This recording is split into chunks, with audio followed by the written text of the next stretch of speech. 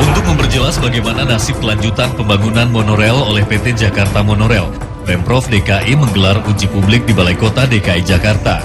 Pihak Jakarta Monorail diberikan waktu oleh pemerintah untuk mempresentasikan proyek ini di hadapan publik. Uji publik digelar untuk melanjutkan proyek konsorsium PT Jakarta Monorail yang terhenti sejak 2007. Uji publik diawali pemaparan Direktur Utama PT Jakarta Monorail, Sukmawati Syukur. Menanggapi pemaparan itu, Gubernur DKI Jakarta Joko Widodo berharap agar hal-hal yang terlihat mudah atau sederhana jangan dibuat sukar atau rumit.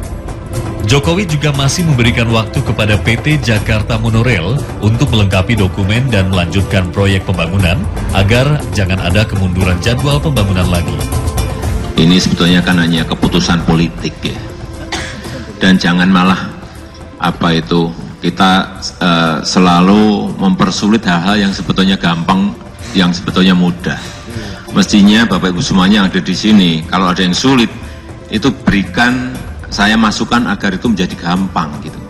Masih ada beberapa dokumen yang saya tunggu yang belum sampai di tangan kita, sehingga belum bisa kita putuskan.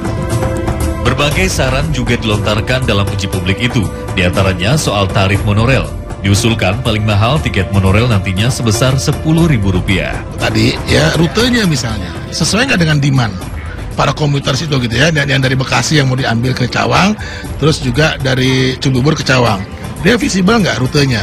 Ya trayeknya rute uh, visible nggak sesuai dengan demandnya pengguna.